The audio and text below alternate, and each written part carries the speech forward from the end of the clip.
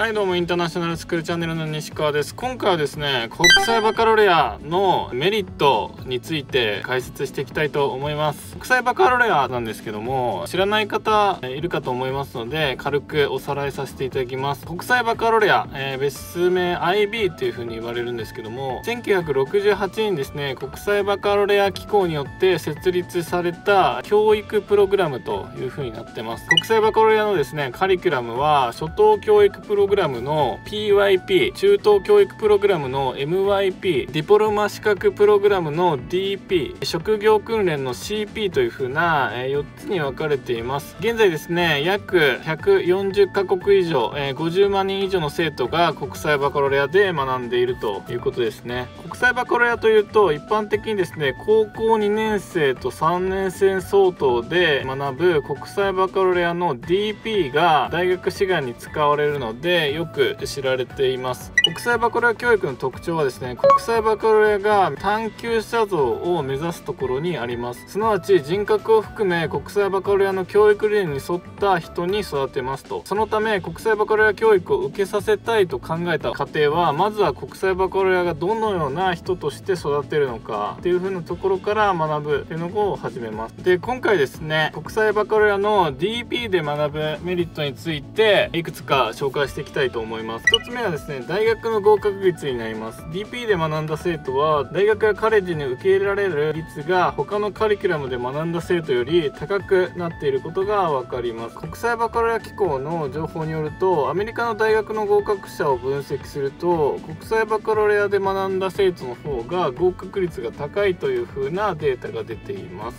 2つ目です。チャンスが増える。いうところですね、えアメリカの大学は学費が高騰しており学生ローンの残高が145兆円を超えたことも話題になりました。その中でですね DP 修了生は課外活動も積極的に活動しているので学業以外にも問題意識を持っています。そのためですね奨学金やインターンなどのチャンスが増えると考えられます。ちなみに DP の科目成績によっては大学の教養課程の単位認定が免除されて学費が少なくて済む場合があるということですね。で3つ目。学際的な学びということで DP で学ぶ生徒は探究的に学ぶため科目を横断して学びますと。テーマによって学際的に取り組むので科学と歴史アートと数学など様々な科目が含まれています。学際的な学びの先に新しい分野や学問が発見されているということですね。で4つ目。生涯学び続ける人になると。国際バカロレアの学び方は探究的です。すなわちなぜ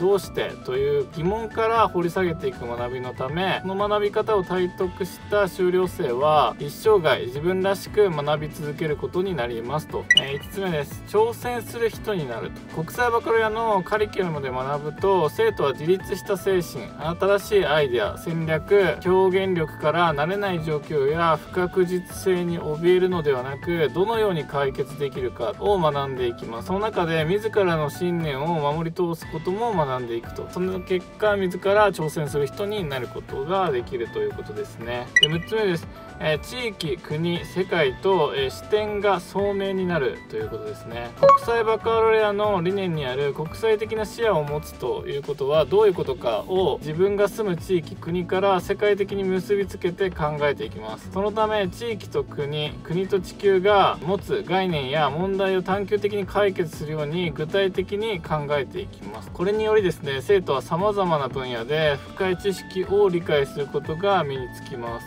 7つ目です。リベラルな考え方になるということですね。DP で学ぶ生徒は自身の経験を理解しまた他人の考えや価値観伝統を尊重します。生徒は自ら自信を持って相手の多様な考え方を受け止め評価しそこで得られた経験からまた成長していきますと。で次です。高潔なマインドを身につけることができる。ということですね。DP で学ぶ生徒は誠実さと正直さを身につけていきます。また多様性ある他人や団体さらには地域のコミュニティのために公平な精神と尊敬な心心を持ち合わせるように、え育ちます。DP で生徒は社会奉仕活動が必須です。これはですね CAS と呼ばれているんですが地域の外国人住民のために災害時のマップを作って配布し講習会を開いたりカンボジアで学校を作ったり、え、することがあるそうです。その中でですね理解で判断するだけでなく社会に貢献する高潔なマインドを育むということになってます。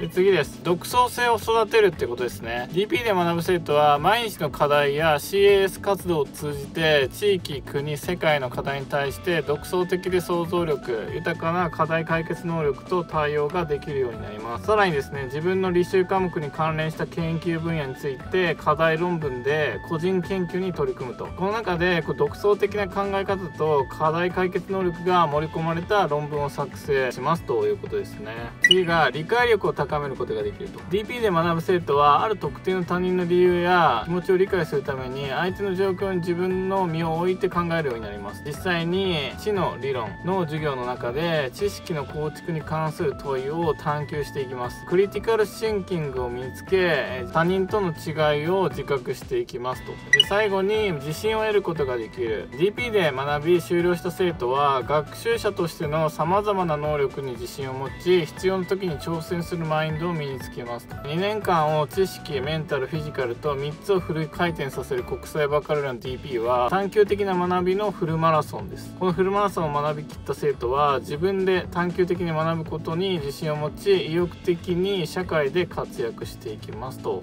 でまあこれらの、まあ、メリットがある中で国際バカロレアの理念をまとめた learner profile っていうものがありましてこの learner profile は IB 校の、まあ、至る所に掲げられているということで紹介していきたいと思います。1つ目が探求する人。2つ目が知識のある人。3つ目が考える人。4つ目がコミュニケーションができる人。5つ目が信念のある人。6つ目が心を開く人。7つ目が思いやりのある人。8つ目が挑戦する人。9つ目がバランスの取れた人。で最後に振り返りができる人。ということでこれらのですね learner profile というものがまあ理念ということで IB 校の学校とかではいろんなところに掲げられているということでメリットというよりかはどちらかというとこういう人間を目指しているという風なもので、まあ、仮にですねお子さんがこういう風なですね、まあ、グローバルな人を育てたいっていう風に考える方は国際バカロレアの、まメリットがかなり大きいのかなっていう風な形になります。以上インターナショナルスクールチャンネルの西川でした。ありがとうございました。